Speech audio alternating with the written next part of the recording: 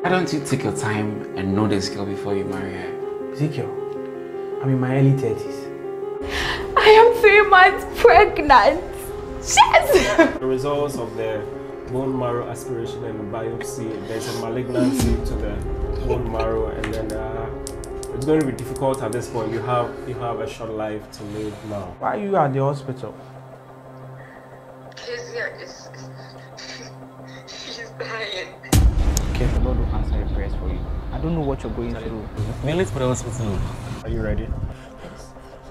We're sorry about this. She's my fiancée. We're Oh. supposed to get married. Sorry about this. Young man, calm down.